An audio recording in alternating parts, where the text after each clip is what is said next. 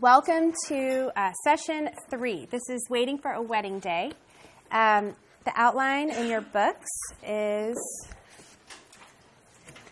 on page um, 102. Page 102.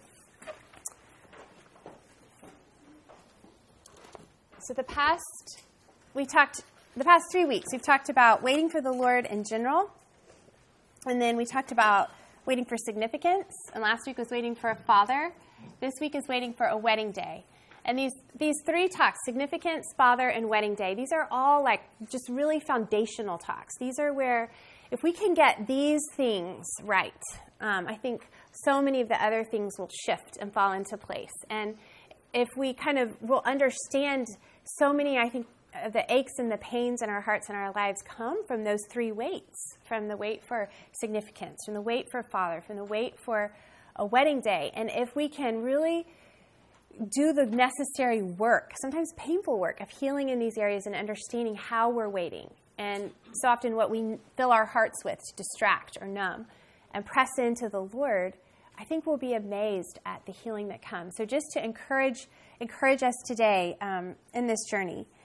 And I hope you enjoyed the homework this week on waiting for a wedding day. I it, was a, it was sort of a, a different take. Um, I love the life of Jacob. I don't necessarily love events in his certain events in his life, but he's truly like the, a postmodern person. I feel like in ancient Hebrew literature, um, and it's so it's illustrated so vividly his search for a wedding day to be someone's beloved, someone's favorite, someone's firstborn and this constant struggle you see for his struggle for a blessing. And he had really forced me in my own search for a wedding day. What was I really looking for? And is that something that ever a spouse can really fulfill? Did God make it so that a spouse could fulfill that? And so we're going to talk about that today. Um, and we're all in different places uh, um, in our wait for a wedding day. Some of us maybe are single and have never been married. Some of us maybe were married but are divorced or were separated. Some of us are married happily, but we're married to a sinner, right? And they're married to a sinner. We're all sinners in here. No marriage is perfect. Um, and some of us might be married, but it's it's a tough marriage, and we're left hurting and aching a lot, wanting something more. And um, several years ago, I was part of a conversation with a woman, and we were talking about it was at lunch, and we were talking about being Christ's beloved. You know, you hear that that term, the beloved. And this woman is married. I think she has a great marriage and children. Her marriage is fine. But she said when she started to read this book, and I cannot remember what book it was, but about being the beloved of Christ, she just started to weep. And she said, I don't think I've ever been anyone's beloved. And it took me so off guard because I thought, I mean, she has a good marriage, you know? But there's a profound difference between having a spouse that loves you and maybe you love your spouse, but feeling like you're someone's beloved. I mean, that's a powerful word. And I think we all feel that way. We all at least want that. We all have, because it's a God given desire in us, not to just be loved, not to just have a wedding day, but really at the, the heart of the matter is that what we're waiting for is to be someone's beloved, cherished, and for someone to say, I choose you, someone strong, someone compassionate, someone who's wise, someone who's bigger than us, so to speak. And I really believe that's a longing in every woman's heart on planet Earth, no matter your age or stage of life. And I really believe it's a longing put there purposefully to be fulfilled by only one. And um, in Jacob's wrestling match with God that you saw in the homework, Perhaps you saw something of your own wrestling match you've had with God, either in your singleness or in your marriage. And I want to encourage you today to not let go, just like Jacob. And if you haven't done the homework, there's time for that. You can go back at any point. But that story of Jacob wrestling with the angel who turned out to be God himself, don't let go because he has blessing for you. He wants to change your name for whatever that name of despair or um, not chosen or not wanted, unwanted, or whatever you feel like that name is on you, your name in Christ is the beloved, is chosen. So don't let go until that weight has been fulfilled. And, you know, until we see Jesus face to face, it's never going to be fulfilled completely. but we have we will fill that in part while we are here to press into that. Um, in order to do that, in order to kind of understand um, a little bit of how to press into that and how to hear God's voice over us, saying that we're we are His beloved. I want to do something a little different. Um, we're going to have fun together, discovering. I hope it's fun. An amazing truth in Scripture, and then apply it to our lives and our waits for a wedding day. So you've got to kind of put on with me your English literature hats that maybe you took off after high school English and never wanted to put on again, but I'm going to ask you to put it on with me this morning or today. I'm sorry, I'm a little congested this morning. Welcome to Houston Allergies, right? but this all started about 10 years ago. I began reading this book called Art, The Art of Biblical Narrative by Robert Alter and preparing for this lesson, the first time I ever taught this. And I really, you know, this was this study was born out of a singles class. Jason and I teaching singles, and of course they were all waiting for a wedding day, um, or most of them were. And I, I just didn't want to teach the same old conventional lesson on waiting for a wedding day because I feel like this wait applies to married and singles. And so I was really praying, Lord, show me how to teach this. Show me how to see this through the lens of your word. And I, and so I was reading this book, and the pieces just started coming together. Robert Alter is a Jewish scholar. He's a professor of Hebrew and comparative literature, or at least he used to be 10 years ago, at the University of California in Berkeley. And he studies the scriptures in a unique way and from a Jewish perspective, which is always helpful when looking at certain parts of the Old Testament. And he puts before his readers that the Bible isn't meant merely to instruct, but it's also it's a piece of literature. And just like you have to read um, uh, mystery novels in a certain uh, mysteries in a certain way, or, or, like you have to read poetry differently from how you read narrative, or you have to read narrative diff- uh, or fiction from how you read fact. We have to read certain parts of the Bible through certain literary lenses. The prophets are going to be read through a different lens, perhaps, than um, the Psalms or the Song of Solomon. Um, the, the, the, historical books and the narratives are going to be read differently um, from the prophet. So it's all, you have to learn how to, just like you would with any good piece of literature, read it through certain lenses. Um, and so, with the help of the Holy Spirit, I want us to put on a literary lens today um, of, of narrative as we learn about archetypes and type scenes. Some of you might be shuddering, okay, because the last time you heard that was when in English you learned about Homer or the Iliad. Um, but don't tune me out here, okay? This is on your outline. Archetypes and type scenes. An archetype in literature is the standard who does certain things in a certain way at a certain time. An archetype is the standard who does certain things in a certain way at a certain time. This can be a standard for the good guy or the bad guy, for the hero or the tragic hero, the villain or the discoverer, okay, like um, Ulysses, or the sage or the prophet or the warrior or the warrior princess or the beautiful maiden or the queen, like Helen. Any these names like triggering anything in your heads? But every culture has classic literature from which their archetypes are drawn, whether they realize it or not. Okay? So you and I and our kids are able to interpret the characters from the new Star Wars, like Rey and Finn and Princess Leia and Kylo Ren and Darth Vader, um, because of standards of archetypes like Beowulf, yuck, Sir Gawain, King Arthur, Guinevere, Sir Lancelot, Merlin, Achilles, Ulysses, set for Western culture and Western literature hundreds or even thousands of years ago. So when we go and we sit in a movie theater or when we pick up a modern day piece of literature, whether we realize it or not, we're able to interpret the author's intent because of archetypes that were set for us in Western literature. And other cultures or continents are going to have different archetypes drawn from their canon of literature. And so it's important to think about who or what these are. And because archetypes help us define and understand culturally what is good or evil or heroic or tragic or beautiful or ugly, um, it's really important to understand each culture's archetypes. Okay? And how we do this is through something called a type scene. This is on your outline too. A type scene is an elaborate set of tacit agreements between artist and audience about the ordering of the artwork. An elaborate set of tacit agreements between artist and audience about the ordering of the artwork. It is at all times the enabling concept in which the complex communication of art occurs. It's the enabling concept. Okay, in other words, all right, this is on your outline. The type scene is what enables communication to occur between the artist and the audience. It's what enables the artist to make his or her point about war or love or marriage or romance or money or power or whatever through the medium of art or literature or painting or music or film.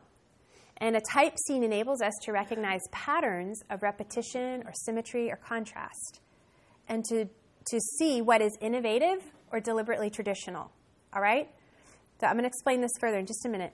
Classic type scenes our culture draws from are Knights of the Round Table, lessons about brotherhood and friendship, unity, Lancelot and Guinevere, adultery is wrong, true kings are true to their wives, true queens are true to their husbands, Braveheart, or Beowulf, courage and honor in battle, cowardice is shame.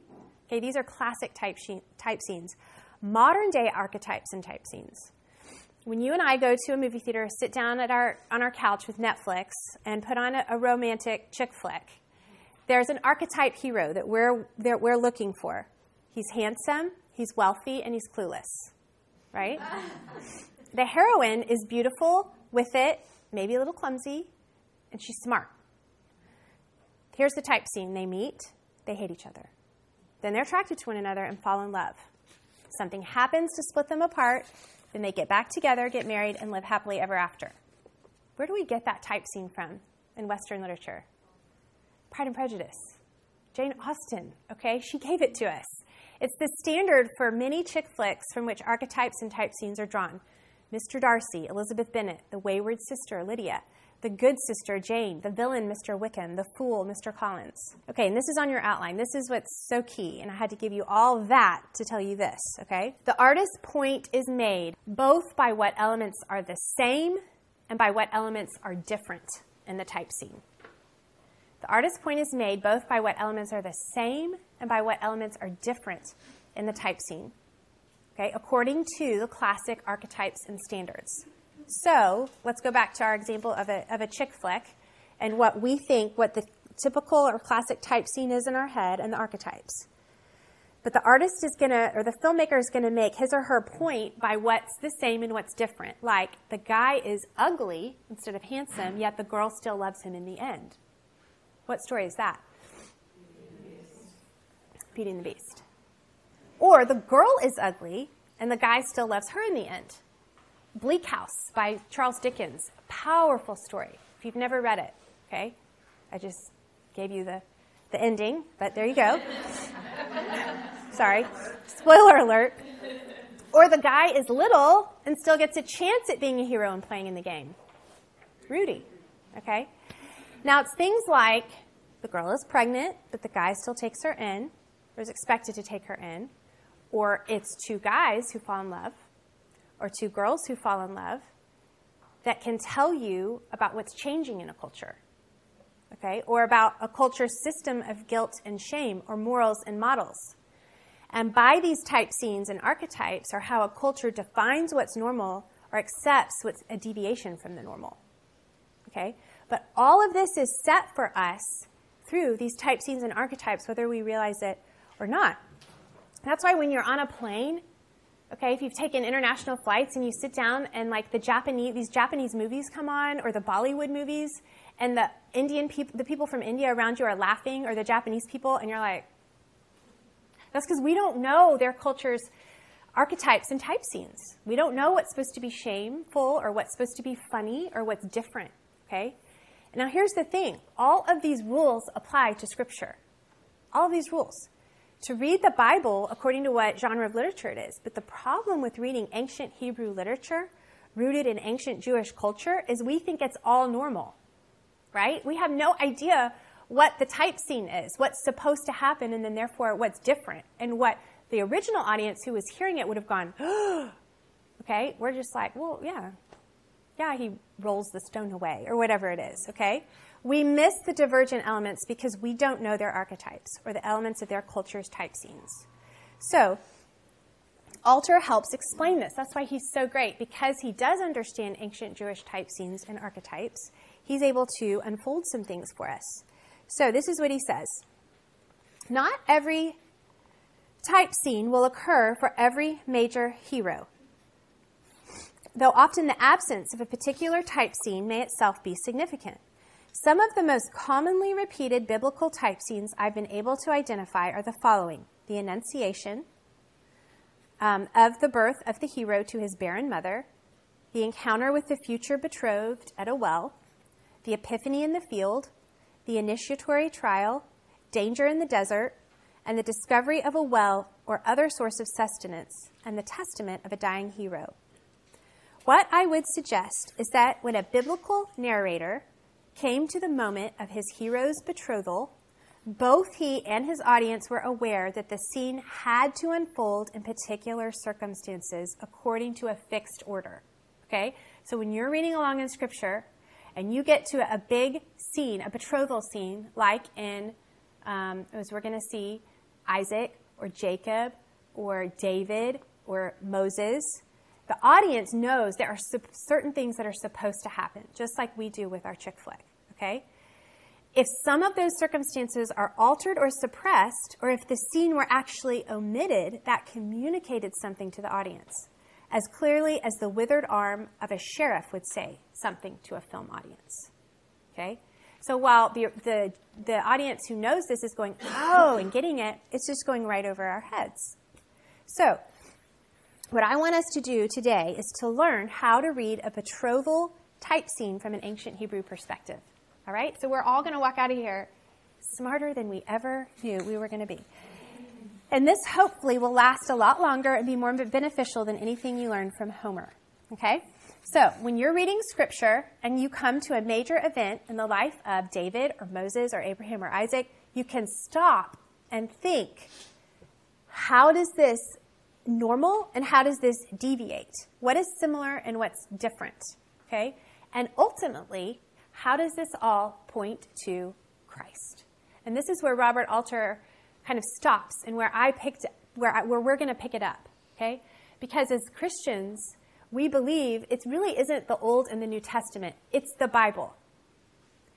The whole thing is meant for we cannot understand what's the New Testament without the Old Testament. It's full preparation for what we know about the life of Christ. So that when he steps onto the scene, when the word becomes flesh, it should be an aha moment for all of us where we go, oh, this is what the prophets were talking about. This is what every type scene for every major character was building to Christ in the flesh. And so that's why it's so important for this to stick and for us to know how does this compare to the life of Christ? What's similar? What's different? Because how the patriarchs from the Old Testament chose a bride all point to and get us ready for how Christ chooses his bride. For these stories are there for us to learn from, again, so that we can recognize Christ when he comes. So let's look at your outline. These are taken from Robert Alter. These are the five element, fixed elements in a biblical betrothal type scene. Okay? So, what are the five elements? According to, to Robert Alter, there are five. All right, so they're all on your outline. There's some blanks underneath, but just look at the five major points. Number one, the future bridegroom journeys to a foreign land. That's the first thing that every reader would be looking for. The future bridegroom journeys to a foreign land. Number two, there he encounters a girl at a well. He encounters a girl or girls, plural, at a well. Usually the girl is, and this is important, beautiful, a virgin, and family. She's usually some sort of cousin. From here on out, she is going to be known as the BVF, Beautiful Virgin Family. Okay? That's who he's looking for. Number three, he or she draws water from the well. He or she draws water from the well. This is sort of a fixed and divergent element depending on who's drawing the water, as we're going to see. And number four, afterward, the girl rushes home to bring news of the stranger's arrival rushes home. The words hurry and run are usually always given emphasis. And number five, a betrothal is concluded. Usually only after the stranger has been invited to a meal. Betrothal is concluded usually only after the stranger has been invited to a meal. So we're going to look at at two different examples before we get to the life of Christ. And remember, it's what is different is the thing that stands out. The divergent elements in a type scene are how the author makes his or her point. It's the divergent elements, okay? So I want to read about the very first betrothal in Scripture, Isaac and Rebekah. Remember, whenever we read something that's a first in Scripture, we have to pay special and close attention because it sets the standards for all others that are to follow. So, this first one, Isaac and Rebekah, is kind of long and detailed, but it sets the standard for all other betrothal type scenes. So, I'm going to read, and as I read, I want you to look for the fixed elements as I read. So, there are blanks underneath your five points. The first one is I and R, stands for Isaac and Rebecca. So, as I read, listen for these fixed elements and jot down the verse reference when you hear it, okay? So as I talk about a future bridegroom journeying to a foreign land, write the verse down, number down beside the blank. And there are blanks for Isaac and Rebekah under all five points. Okay, this is in Genesis 24. I'm going to read 1 through 4, and then I'm going to skip down. Now, Abraham was old and advanced in age, and the Lord had blessed Abraham in every way. And Abraham said to his servant, the oldest of his household, who t- had charge of all that he owned, Please place your hand under my thigh, and I will make you swear by the Lord, the God of heaven and the God of earth, that you shall not take a wife for my son from the daughters of the Canaanites among whom I live, but you shall go to my country and to my relatives and take a wife for my son Isaac. Skip down to verse 10. Then the servant took ten camels from the camels of his master and set out with a variety of good things of his master's in his hand. And he arose and he went to Mesopotamia, to the city of Nahor. And he made the camels kneel down outside the city by the well of water at evening time, the time when women go out to draw water. And he said, O Lord, the God of my master Abraham, please grant me success today and show loving kindness to my master Abraham.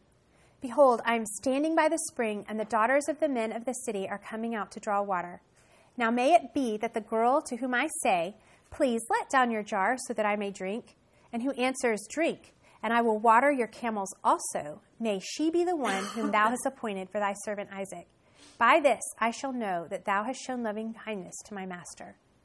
And it came about before he'd finished speaking that, behold, Rebekah, who was born to Bethuel, the son of Milcah, the wife of Abraham's brother Nahor, came out with her jar on her shoulder.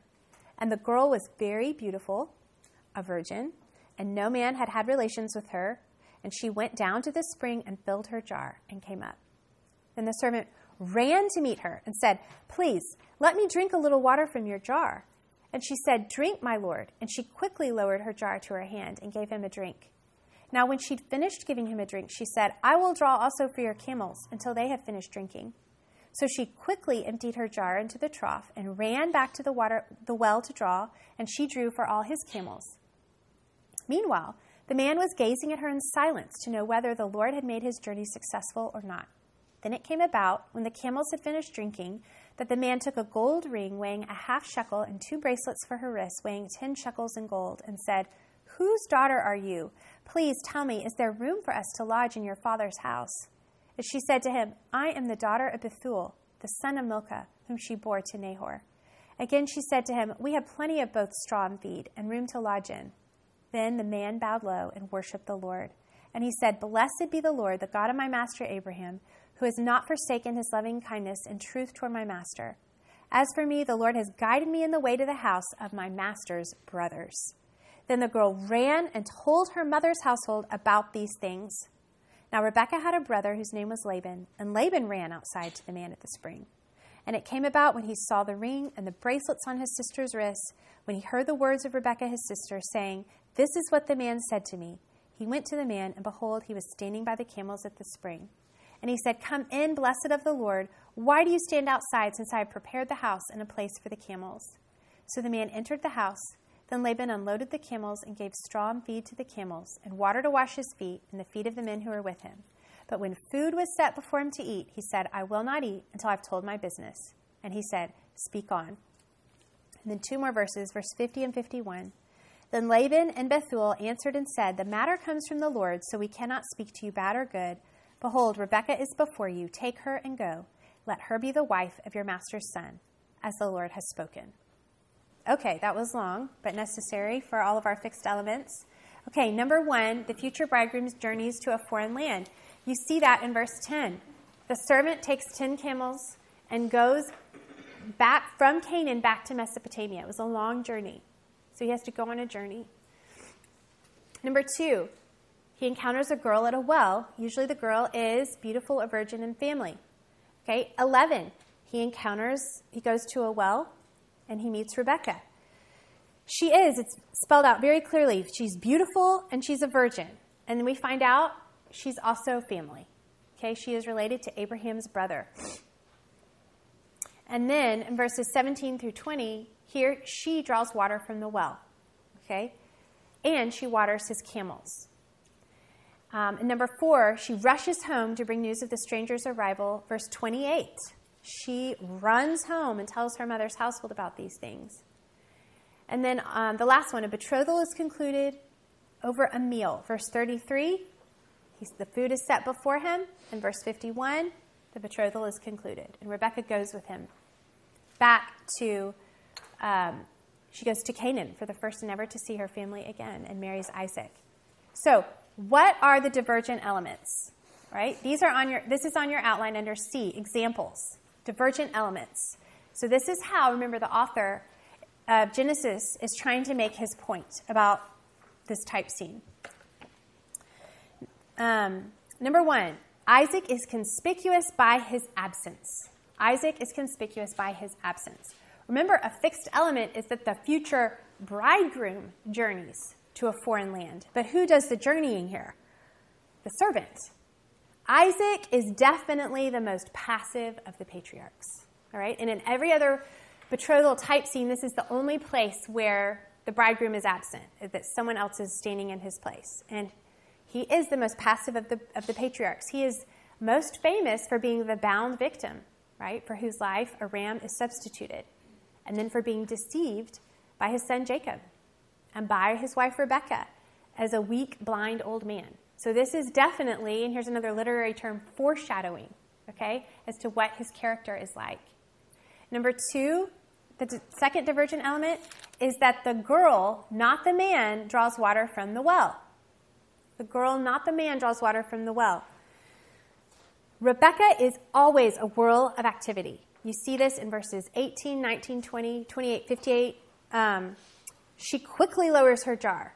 She quickly empties her jar. She runs back to the well. She runs and tells her mother's household. I mean, she's just, okay? Um, this also foreshadows she is the one in control and she sets the pace. She's going to in her household too. She will quickly take matters into her own hands and help her favorite son Jacob deceive his father and steal her older brother's blessing and leave her family in chaos. Okay? So, whether we, you realize it or not, the original audience is listening to this going, ah, getting all these things from this type scene while we're just like, well, of course she's running around. I mean, you know, so it can tell us a lot about the original characters. All right, let's do one more before we get to the life of Christ. Jacob and Rachel. This one is quick pace dialogue compared to the first one. So, again, under your five fixed elements, there are blanks J and R. That stands for Jacob and Rachel. So, as I read, listen for the fixed elements and then jot down the verse reference. This is going to be in Genesis 29, um, verses 1 through 13. Then Jacob went on his journey and came to the land of the sons of the east. And he looked and saw a well in the field. And behold, three flocks of sheep were lying there beside it. For from that well they watered the flocks. Now the stone on the mouth of the well was large. When all the flocks were gathered there, they would then roll the stone from the mouth of the well and water the sheep and put the stone back in its place on the mouth of the well. And Jacob said to them, My brothers, where are you from? And they said, We are from Haran. And he said to them, Do you know Laban the son of Nahor? And they said to him, We know him. And he said to them, Is it well with him? And they said, It is well. And behold, Rachel his daughter is coming with the sheep. And he said, Behold, it is still high day. It's not time for the livestock to be gathered. Water the sheep and go pasture them. But they said, We cannot until all the flocks are gathered and they roll the stone from the mouth of the well. Then we water the sheep. While he was still speaking with them, Rachel came with her father's sheep, for she was a shepherdess.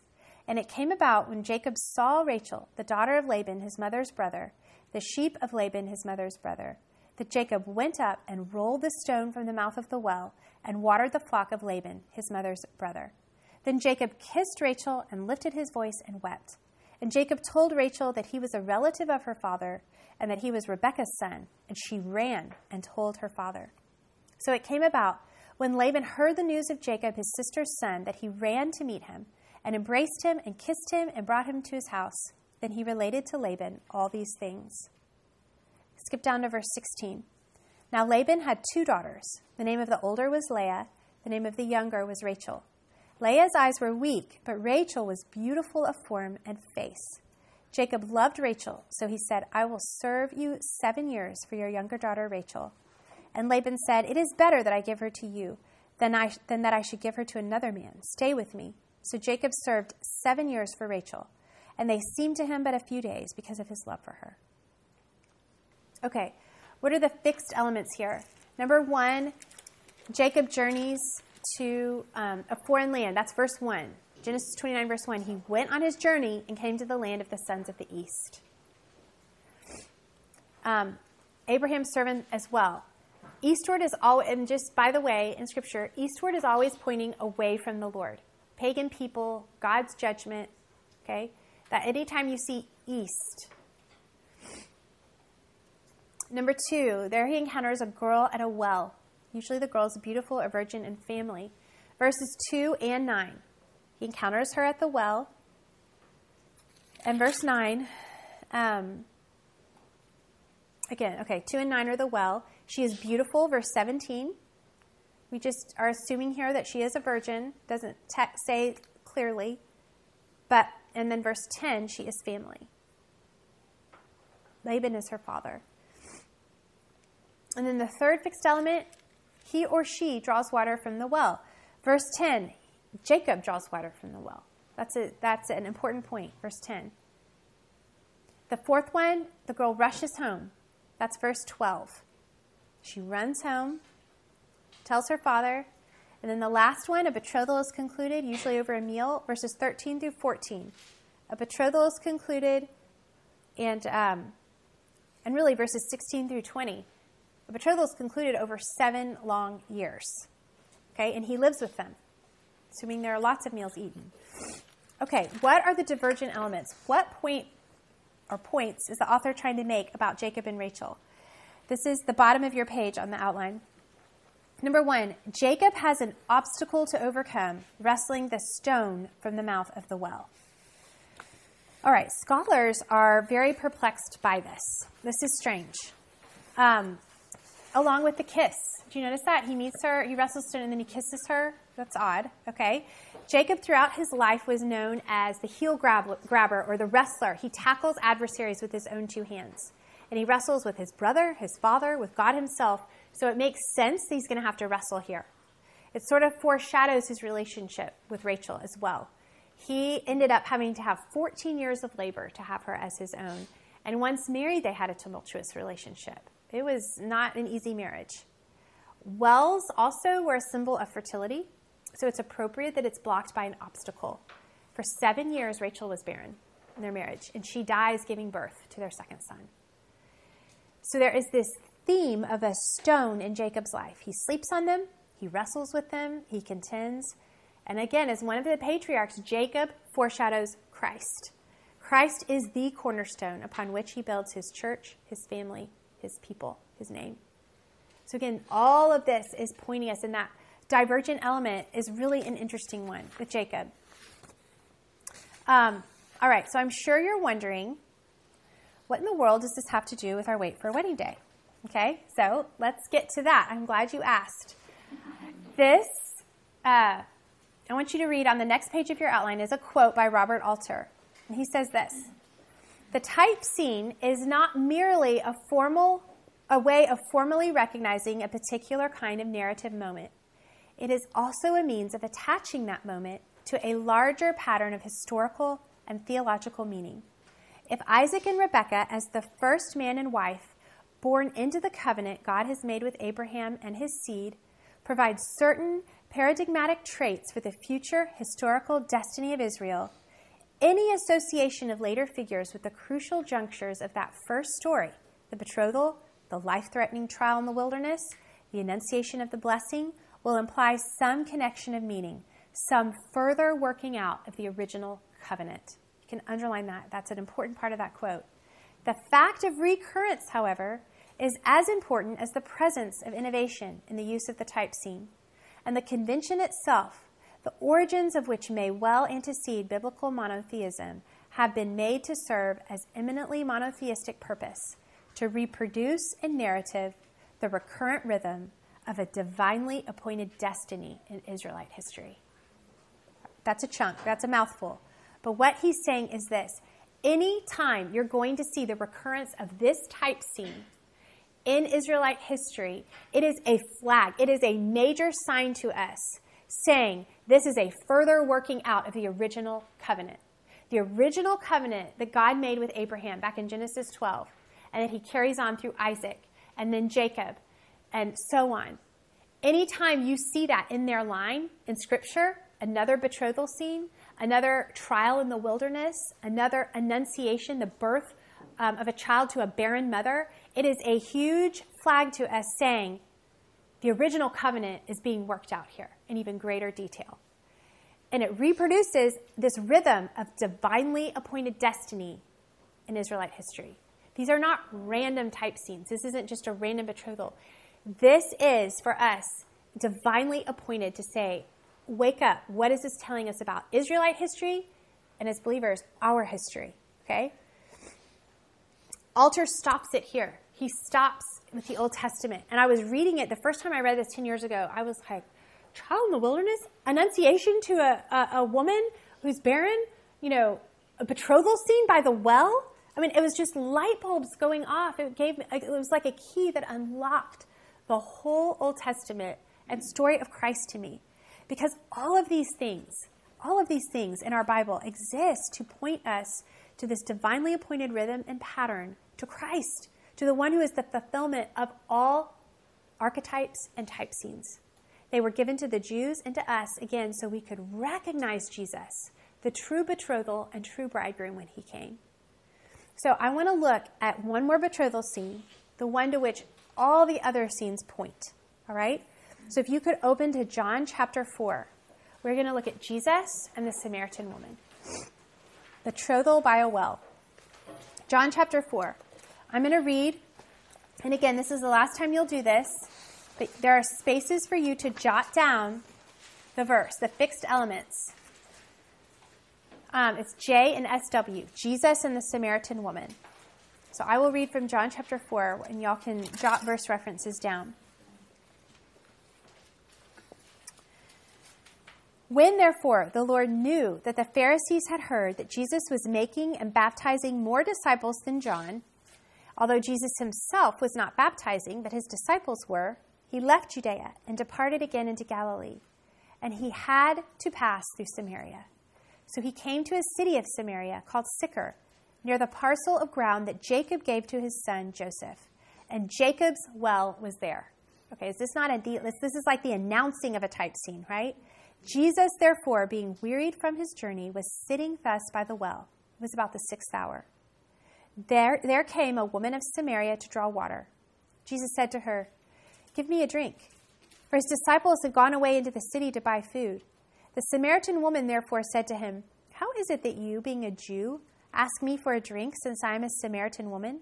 For Jews have no dealings with Samaritans. Jesus answered and said to her, If you knew the gift of God, and who it is who it is who says to you, Give me a drink, you would have asked him, and he would have given you living water. She said to him, Sir, you have nothing to draw with. The well is deep. Where then do you get that living water? You are not greater than our father Jacob, are you, who gave us the well, and drank of it himself, and his sons, and his cattle? Jesus answered and said to her, Everyone who drinks of this water shall thirst again. But whoever drinks of the water that I shall give him shall never thirst. But the water that I shall give him shall become in him a well of water, springing up to eternal life. The woman said to him, Sir, give me this water, so I will not be thirsty, nor come all the way here to draw. He said to her, Go, call your husband, and come here. The woman answered and said, I have no husband. Jesus said to her, You have well said, I have no husband, for you have had five husbands, and the one whom you now have is not your husband. This you have said truly. The woman said to him, Sir, I perceive that you are a prophet. Our fathers worshipped in this mountain and you people say that in Jerusalem is the place where men ought to worship. Jesus said to her, Woman, believe me, an hour is coming when neither in this mountain nor in Jerusalem shall you worship the Father. You worship that which you do not know. We worship that which we know, for salvation is from the Jews. But an hour is coming, and now is, when the true worship, worshippers shall worship the Father in spirit and truth. For such people the Father seeks to be his worshippers. God is spirit those who worship him must worship in spirit and truth. The woman said to him, I know that Messiah is coming, he who is called Christ. When that one comes, he will declare all things to us. Jesus said to her, I who speak to you am he. At this point, his disciples came, and they marveled he had been speaking with a woman. Yet no one said, What do you seek? or Why do you speak with her? So the woman left her water pot, went into the city, and said to the men, Come, see a man who told me all the things that I've done. This is not the Christ, is it? They went out of the city and were coming to him. In the meanwhile, the disciples were requesting him, saying, Rabbi, eat. But he said to them, I have food to eat that you do not know about. The disciples therefore were saying to one another, No one brought him anything to eat, did he? Jesus said to them, My food is to do the will of him who sent me and to accomplish his work. Do you not say there are yet four months? Then comes the harvest. Behold, I say to you, lift up your eyes, look on the fields, that they are white for harvest. Skip to verse 39. From that city, many of the Samaritans believed in him because of the word of the woman who testified, He told me all the things that I have done. So when the Samaritans came to him, they were asking him to stay with them, and he stayed there two days. Many more believed because of his word, and they were saying to the woman, It is no longer because of what you said that we believe for we have heard for ourselves and know that this one is indeed the Savior of the world. Okay, so let's unpack this. This is our text for the remainder of the time. Number one, the fixed element. The bridegroom journeys to a foreign land. This is verses 1 through 6. Verses 1 through 6. And this is on your outline um, betrothal by a well, under fixed elements. Jesus is the very present bridegroom who has left his father's house to seek his bride among the sons of the east, just like Isaac and just like Jacob. What I love here, okay, this is a fixed element, but let's not miss the significance of it, all right? The bridegroom is not absent, it's him. God did not send a servant or a stand in or an angel or representative, he sent himself. And he is hot and he is tired he is fully human. And Alter says to discover a mate in the world outside is figured in the young man's journey to a foreign land.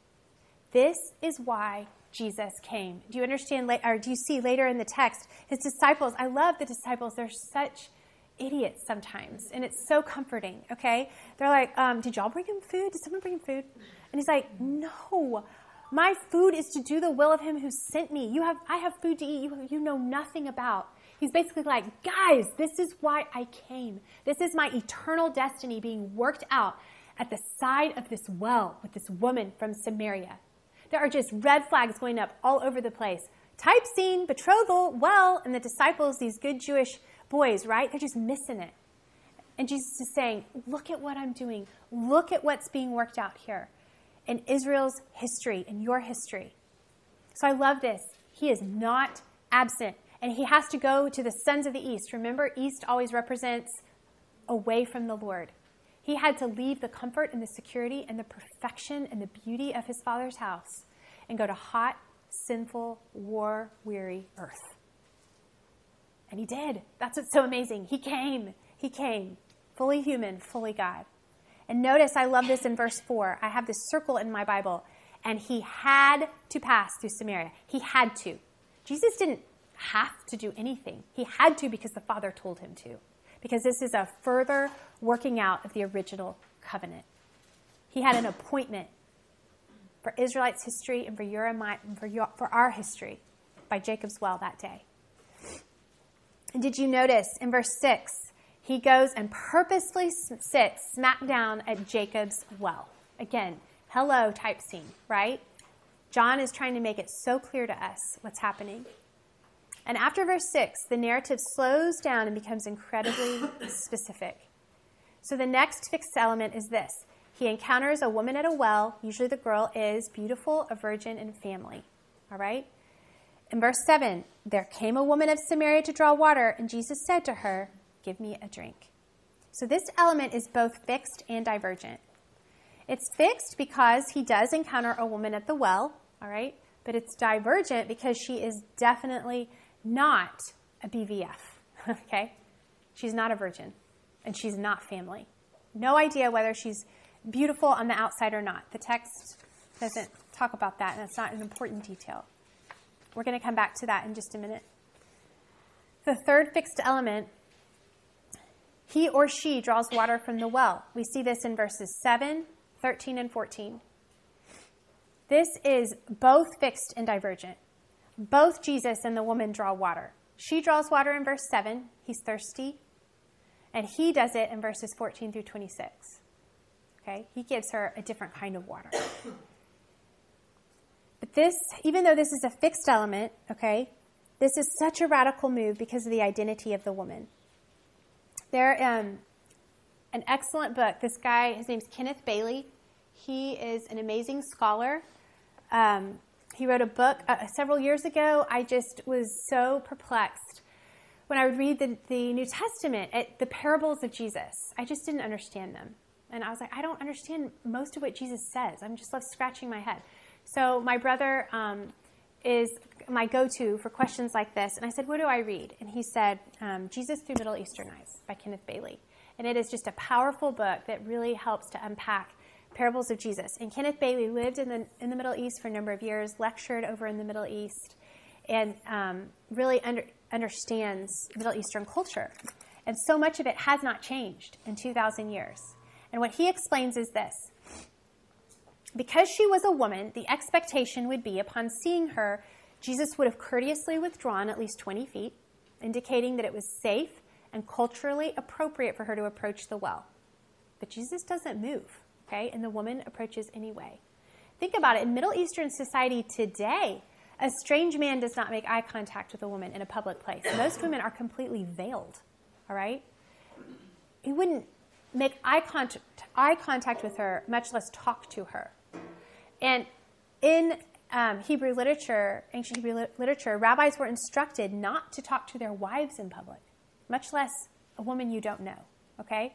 So this is radically different. All right? By deliberately, and this is so interesting, by deliberately sitting on the well without a bucket, Jesus places himself strategically to be in need of whoever appears with the necessary equipment. I love this.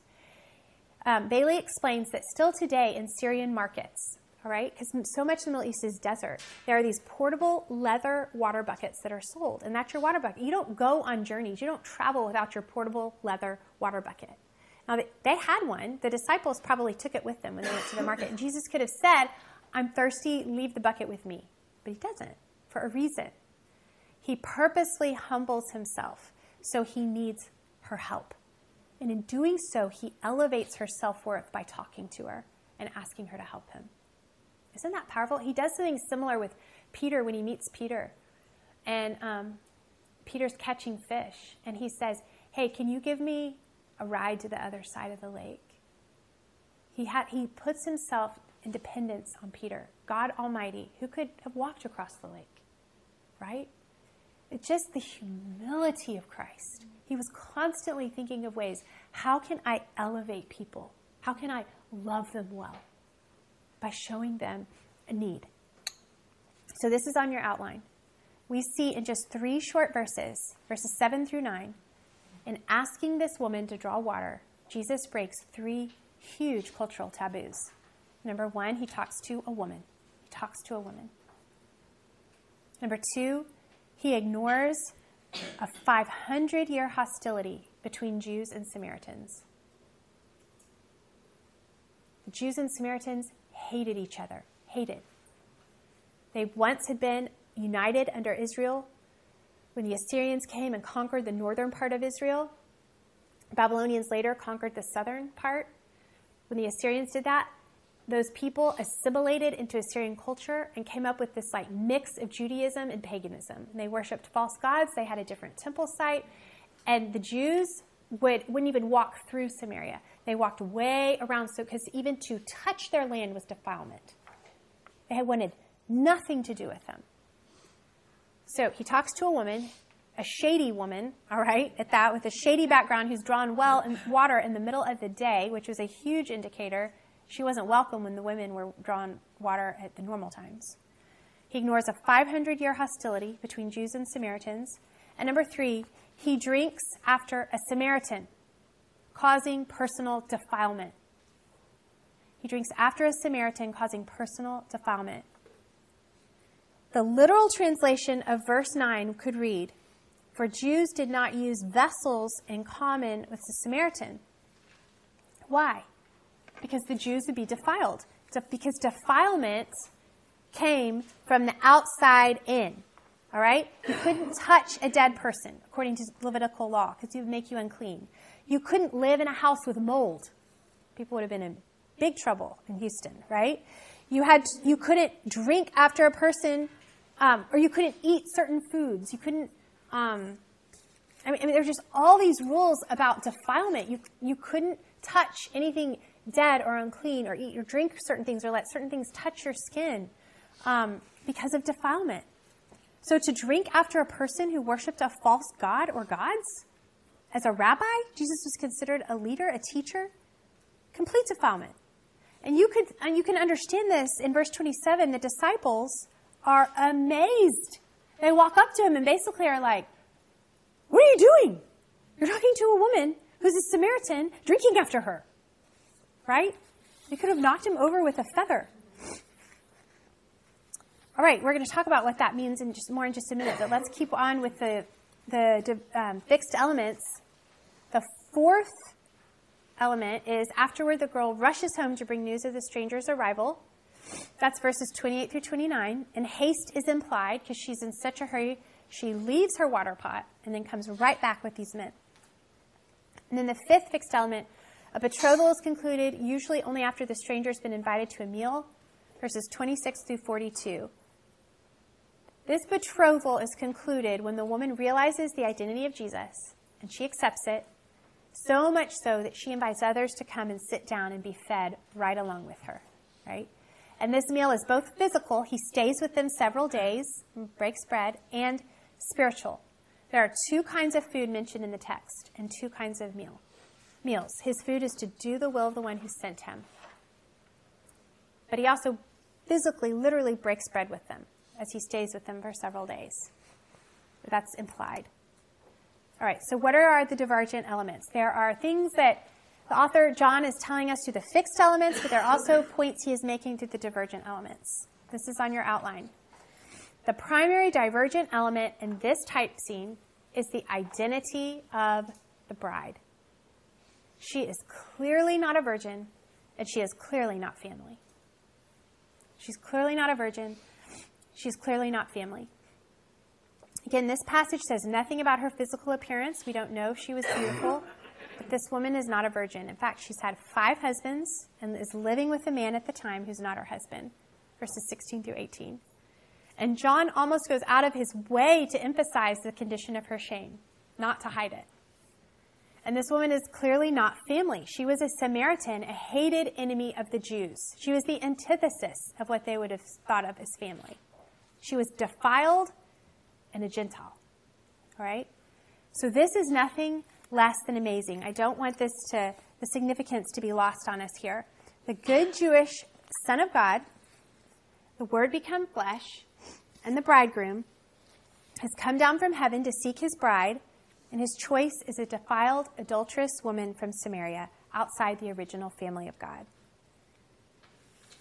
This text signifies to us sitting in this room, unless you are um, born of Jewish family, okay, this is great news for us, right? A major shift has just occurred. The Gentiles have just been essentially said, You're part of the family. You're now part of the Israel of God. The temple is not in Jerusalem. This whole dialogue he's going on has going on with her about, but I thought you said we have to worship in Jerusalem. And he says, No, no, no. The day is coming. God seeks worshipers in spirit and truth. No longer is the temple about a certain specific location anymore. You don't have to go to Jerusalem. You don't have to say your prayers in Hebrew. The temple is about to be his body. The language of God is the language of the redeemed heart. That's why now we have Bible translations. We're working towards every language, right? It's not just one language. We have been grafted in. And I love this. How does Jesus treat her? What does he offer her? Okay, this immoral woman who is a defiled Gentile. And this is on your outline. The second divergent element is the nature of the drink he offers her. He does not offer to satisfy her physical thirst, he offers to satisfy her spiritual thirst and to quench her guilt and her shame. He has her admit who she really is, and then he tells her her whole story. Isn't that beautiful? It's just like, think when we read in Genesis 3 with God, with Adam and Eve in the garden. He makes them tell them exactly where they are and what they've done for their good. There's no freedom unless you do that. If he had just glossed over the details and left it standing between them, you're just a nice lady who's given me a drink, well, I have eternal water for you, but not brought up the fact of the five men she's been with, she would have felt like it wouldn't have been a blessing at all. It's just like Jacob you have God blesses us with the full knowledge of all of our sin, all of our mess ups, all of our failures right there. Otherwise, it's not a blessing at all, who we really are. And you notice she tries to change the topic, okay? I perceive you're a prophet. Um, our fathers worshipped on this mountain, and you people worship in Jerusalem, right? And he doesn't let her get away with it. He brings her back to what's offered her and this is on your outline. Jesus lets her know that worship isn't about being in the right place, it's about being at the feet of the right person. Forget about Jerusalem, right? Forget about that temple for a minute. I who speak to you am He. I love what Bailey says here about this. He says, Jesus treats the woman as a serious theologian and reveals to her the most important teaching on worship in the entire New Testament. Let me just pause. Anyone who says that Jesus treats women badly or that the Bible is negative towards women doesn't know what they're talking about. They're bad, they're, they're doing poor research and reading bad scholarship. Jesus elevates women to a worth that most men, even today, don't elevate women to. Who does he appear first to after the resurrection? A woman. A woman's testimony wasn't even considered to be held up in court. He didn't care. He loves women. Who does he allow to touch him and deliver for the, the bleeding woman?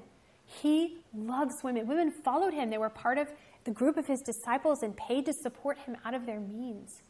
Mary and Martha, I mean, if anyone, it's just anyone who says that Christianity is derogatory towards women, I'm not saying that certain Christians aren't derogatory towards women, and that is just heartbreaking. Jesus never was. Jesus loves women, okay? So once again, Jesus elevates her as a person, and in the process, all women with her. The phrase, I am, that appears here in the Greek text of John is the exact phrase that's used in the Greek Old Testament to translate the Hebrew of what God said to Moses at the burning bush.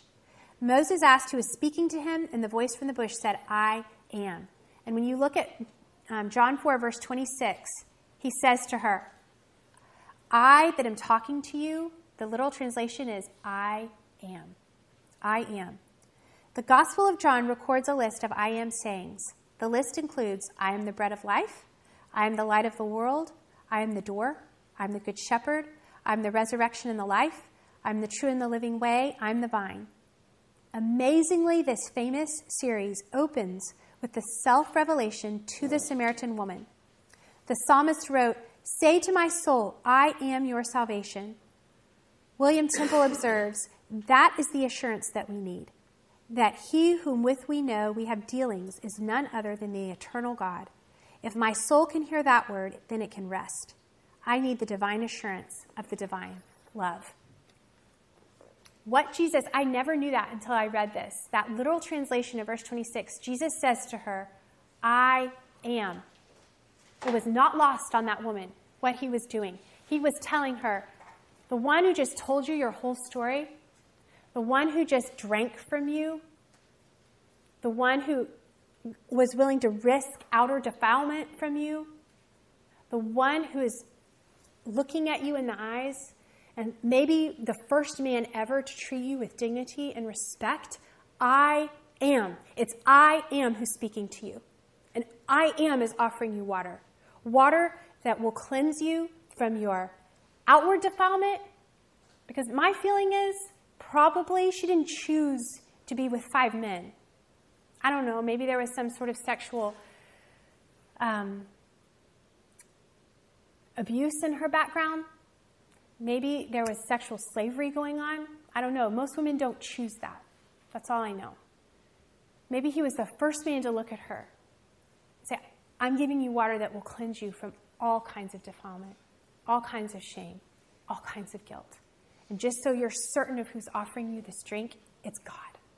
It's God. And he opens the famous I Am series, the seven statements of John, with her. How powerful and how beautiful. Total love, total accept- acceptance. And what does this woman do? Does she go, let me think about it? She say, well, I mean, maybe I believe you? She completely receives the drink, all right? Drinks it down and runs back to the heart to the town and brings everyone out to Jesus. And verse 39 says, From that city, many Samaritans believed in him because of the word of the woman who testified, saying, He told me all the things I've ever done. You can only say that to someone when your shame has been lifted, right? We only have the power to tell our stories about the broken places in our life when the power of the darkness has been broken over us. That, that drink that Jesus offered her cured her like that. How powerful is that? One more thing we learn from Jesus in his choice of a bride, and this is on your outline. Defilement doesn't come from the outside, defilement comes from the inside. And we don't run the risk of making Jesus dirty. Instead, Jesus makes us clean. He makes us clean. Joanne Thompson has a book called Table Life, and she says this Jesus isn't at risk of catching the disease of sin because he eats with sinners. Sinners are at risk of being drawn to grace by eating with Jesus. As believers, as Christians, I feel like so often we live the reverse, don't we? We don't want to be around people who act a certain way or do certain things, or we even instruct our kids, uh, don't hang out with them. And, and there's, there's wisdom in that, okay? I'm not saying, but we're like afraid we're going to catch sin from sinful people. Light always trumps darkness. It just does. That's the nature of light. You walk into a dark room, you flip on the light. Which one wins? The light. Every single time. When you have light, it always pierces the darkness. Jesus always trumps sin. Always. That's who he is. He is not worried about getting dirty from the defilement of this woman. He is clean in and of himself. And you see this over and over again in Scripture. The way he lets lepers touch him, the way he touches, uh, the way he lets women who are bleeding touch him. Things that a Jewish person, and according to Levitical law, would have had to run to the mikveh or the, the cleansing bath to get clean. You never see Jesus doing that. It's because he, in and of, of himself, has the power from the inside out to make us clean. And what I want to ask you and, and I today, this is really the point here.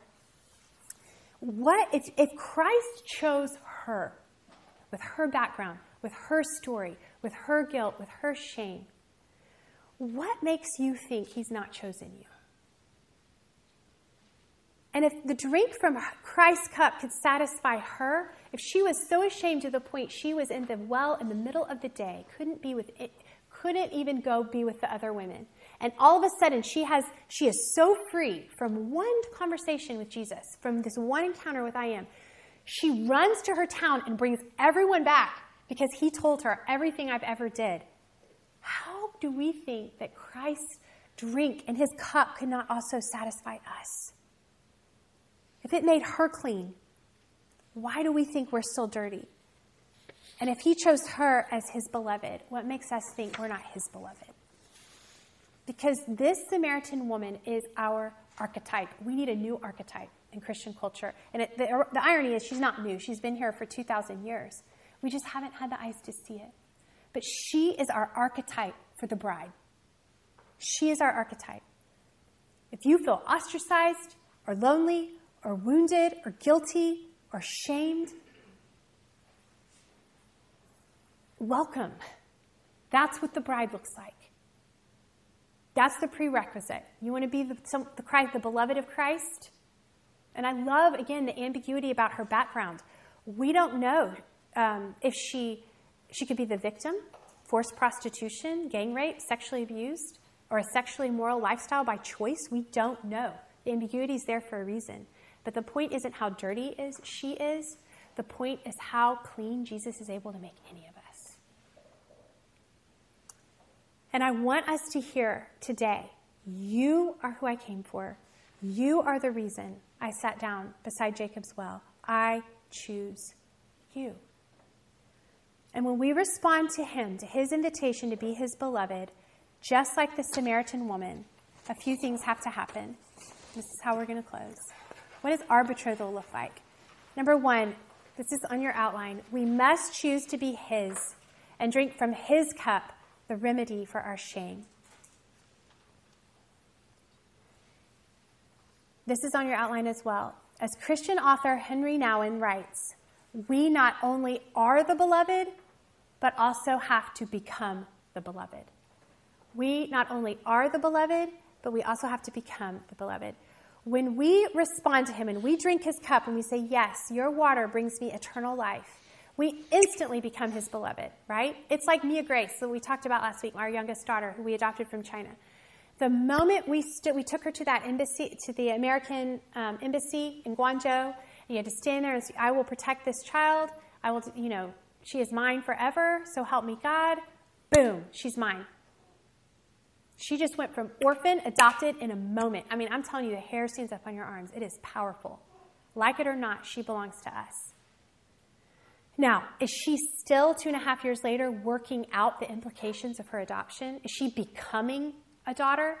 Yes, she became a daughter in a moment, but she is still becoming a daughter. Same for us. We become the bride of Christ in a moment, his beloved, his chosen, but every day is a choice to work out the implications of our belovedness. I love what Henri Nouwen says, says in his book, Life of the Beloved. He says, um, Becoming the beloved means letting the truth of our belovedness become enfleshed in everything we think, say, or do. It entails a long, painful process of appropriation, or better, incarnation. What is required is to become the beloved in the commonplaces of daily existence, and bit by bit to close the gap that exists between what I know myself to be and the countless specific realities of everyday life. Becoming the beloved is pulling the truth revealed to me from above down into the ordinariness of what I am, in fact, thinking of, talking about, and doing from hour to hour. It's pulling the truth of who we are, who we are in Christ in the heavenlies, irrevocably set for all eternity, down into the existence of daily life. And how that happens, we allow, this is on your outline, we allow the living word to apply the written word to our hearts. Ephesians 5 25 through 27 says this Husbands, love your wives, just as Christ also loved the church and gave himself up for her, that he might sanctify her, having cleansed her by the washing of water with the word, that he might present to himself the church in all of her glory, having no spot or wrinkle or any such thing, but that she should be holy and blameless. How does he sanctify us? He cleanses her through the washing of water with the word And the problem is so often we want a bubble bath, and he's like, I got to scrub you down. This is going to hurt a little bit, right? It's like when your kid comes in with a, a wound and they're crying, oh, mommy, it hurts. And you're like, well, I got to clean it. That's the worst part, right? That's normally the bath that Jesus is talking about. It hurts to cleanse the wounds, but that's what he is in the business of doing every day. And that's what we allow him to do as we allow him to pull, we pull the truth from who he says we are down into our everyday moments, our everyday hurts, our everyday wounds. And then on your outline B, we must choose to be continually satisfied no matter the circumstances of our brokenness. It's a daily drink and a daily choice to be continually satisfied by Him, to forgive our spouse, to be content in our singleness, to believe that outwardly we're wasting away, inwardly we are being renewed day by day. And I saw that powerfully played out in the life of my friend Kathy McDaniel. Today is the year anniversary of her going home to be with the Lord. And I will never forget a few weeks before she passed. It was probably about six weeks. And all of us who were close to her had different jobs. Some of it, one of us had, was in charge of the meals. Okay? One of us was in charge of the play dates for her kids. Another one was in charge of the schoolwork for her kids. I mean, we all had to do different things. And my job at the end there was to help her say goodbye through words. And so when it, the end was getting close and it was clear that unless the Lord did a dramatic healing, he was going to take her home, She'd been fighting cancer for three years, and she was emaciated, and she had no hair, and she was so sick on the outside. But inwardly, she was being re- renewed day by day. She was so strong in the joy of the Lord and in the hope of the Lord. And I'll never forget going to her about six weeks before she had to pass, and I said, Kathy, it's time for us to write letters to your kids. You got to write these. And she just started to weep. She said, How do I say goodbye? How do you do that? And we just held each other and cried. It was one of the most sacred, painful conversations and time periods I've ever had in my whole life. And I just, we just started to pray. And I, and I, I all of a sudden, as I prayed, I had this picture of Kathy. And again, she's, she's frail, she's gaunt, she's no hair. And I promise you, it was like the glory of God filled that room, and He gave me a picture of her, and she was beautiful. She was in a wedding dress. And all of us were helping her get ready. Some of us were helping with her veil, some of us were helping with her dress, some of us were giving her flowers, and the Lord said, You might think she's going for her death day, but she's going to her wedding day. She's going for her wedding day, and it's your job, all of you together, to get her ready. And let me tell you something every day, you and I have a choice. One day, yes, we will die in this flesh, but we will go to be married, united to the Lord. And the last image that we have in Scripture isn't a daughter, it's a bride. The Spirit and the bride say, Come. And we sit down at the wedding feast of the Lamb. That is our reality. That is our reality no matter what we see here or feel here. And that is what gives us hope and joy in the midst of the pain of the everyday. We may not feel like anyone's beloved in the here and now, but we are His beloved when we know Him. And we are to help each other. We cannot do this. That has become so clear to me. With every passing year, and even with Kathy's death, we cannot live this out alone by ourselves. We have to have the body to do this together. We help each other understand the reality of who we are as the bride of Christ and to prepare for our wedding day. We need each other to do that. And the last point is this we must choose to make our meal the will of God and to invite others to the feast. Just like the Samaritan woman. Stop using your brokenness to hide behind. Stop using the shameful details of your story as a screen or as something to be afraid of and let Jesus use it to push you out from behind into a broken world to be his mature bridal partner. We are going to have all of eternity to be the bride, radiant, beautiful. But right now, he's looking for the wife. You know what I mean? Like the mature partner to partner with Him and go out into the weary, worn, dark places and be His wife, be His bride, to turn the light on, and to invite others to the feast. Your brokenness and your story is something that others need to come to the table. Just like that Samaritan woman. If she had kept her mouth shut, a whole town would have suffered. There are people in your schools, in your life, in your family, in your back that need to hear the story of your brokenness and how Jesus has healed you so that they feel confident enough that He will let them drink His cup too.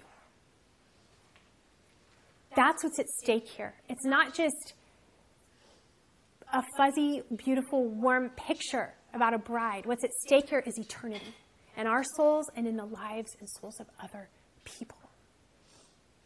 Each of us is a beautiful bride, and our brokenness becomes beautiful when in the hands of Jesus, who loves us and accepts us and invites us to invite others to his table as well. So let me, let me close with prayer.